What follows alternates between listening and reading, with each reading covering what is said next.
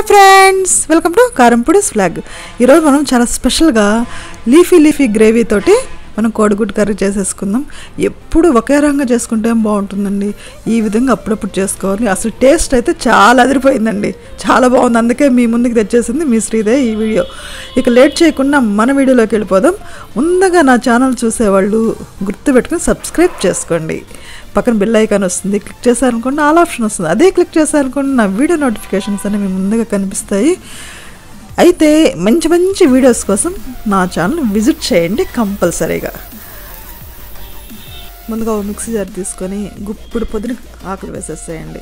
అలానే కొత్తిమీర కొంచెం ఎక్కువ వేసుకున్నా పర్లేదు పాలకూర సన్న కట్ చేసేసి ఒక కట్ట వేసారండి అంటే చిన్న కట్ట అనుకోండి. వేసి ఫైన్ పేస్ట్ చేసుకొని పక్కన పెట్టేసుకోండి ఇప్పుడు కోడిగుడ్లు ఉడికిన కోడిగుడ్లు కొంచెం ఘాట్లు పెట్టాం అనుకోండి మన గ్రేవీ అంతా కొంచెం దాంట్లోకి వెళ్ళి మంచి టేస్టీగా ఉంటుంది.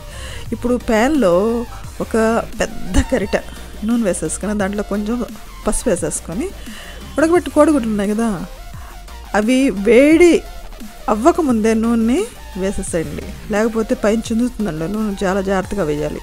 ఇట్లా వేడి కాకముందు వేసేస్తాం అనుకోండి మనం చెందకుండా కొంచెం ఒక నిమిషము లేకపోతే వన్ అండ్ హాఫ్ మినిట్ అట్లా కొంచెం కలబెట్టా అనుకోండి. టూ సైడ్స్ చక్కగా కొంచెం వేగినట్టు వస్తాయి కదా ఇలా పక్కన పెట్టేసుకున్నాం ఒక ప్లేట్లో. ఇప్పుడు అదే నూనెలో ఒక పెద్ద స్పూన్ జీరా వేసేసాను మంచి టేస్ట్ వస్తుంది. అలానే కరివేపాకు ఒక రెండు వెల్లుల్లి ముక్కలు కూడా వేసేసాను. అల్లం వెల్లుల్లి పేస్ట్ ఒక స్పూన్ వేసేసాను.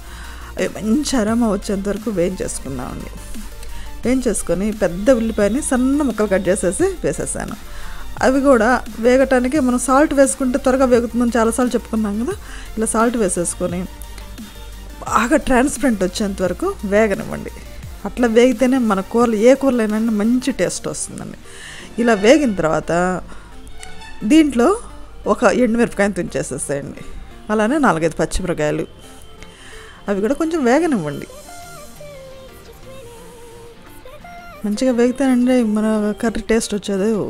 ఇలా వేగిన తర్వాత టమోటా ప్యూరీ ఒక రెండు టమోటాలని ప్యూరీ చేసేసుకొని వేసేసండి. ఇది కూడా నూనె పైకి తేలేంత వరకు వేయించండి. ఈ వేగిన తర్వాత మన లీఫీ గ్రేవీ కదా ఈ గ్రేవీ ఉంది కదా మనం మిక్సీలో వేసుకున్నది ఆ మిక్సీని తీసేసి వేసేసుకొని దాంట్లో తగినంత కారం ధనియాల పొడి ఒక స్పూను జీరా పొడి ఒక స్పూను గరం మసాలా ఒక స్పూను. అలానే నువ్వుల పొడి మంచి గ్రేవీ రావడానికి టేస్ట్ రావడానికి వేయించిన నువ్వుల పొడి ఒక పెద్ద స్పూన్ వేసేయండి. మీకు కావాలనుకుంటే ఇంకో స్పూన్ కూడా వేసేసుకోవచ్చు. మంచి టేస్ట్ వస్తుంది హెల్త్కి మంచిది.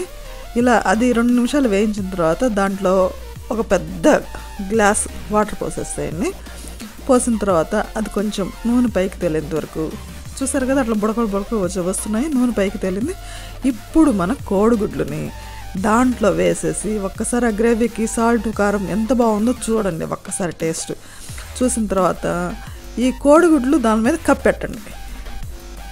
కప్పెట్టనుకోండి ఈ గ్రేవీ టేస్ట్ అంతా దానికి పడుతుందన్నమాట. ఆ గ్రేవీ చిక్కబడేంత వరకు మూతన్నా పెట్టండి లేదా అట్లా వదిలేసిన పర్లా. ఆ గ్రేవీ చిక్కబడేంత వరకు ఉంచేసి ఒక ఐదు నిమిషాల్లో చిక్కబడిపోతుంది. ఇంకా స్టవ్ ఆఫ్ చేసుకోవటమే. ఇంకా వేడి వేడి అన్నంలో ఈ కోడిగుడ్డు కూర వేసుకొని తింటే ఉంటుందండి. ఆహా! అంత టేస్టీగా ఉంటుంది.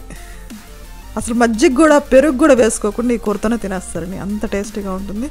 కోడిగుడ్డులైనా మంచిదే తెలిసిందే కదా అందరికీ. ఇంకా ఆకుకూరలు అంటే ఇంక చెప్పాల్సిన పని లేదు. ఎంత మంచి కర్రీనో తెలుసు కదా మీకు? తెలుస్తుంది కదా చూస్తుంటాను. ఇక లేట్ చేయకుండా మీరు కూడా ఈ విధంగా చేసుకోండి. ఒక్కసారి చేసి చూడండి ఇంక వదిలిపెట్టినే అనమాట అంత బాగుంటుంది ఈ కర్రీ.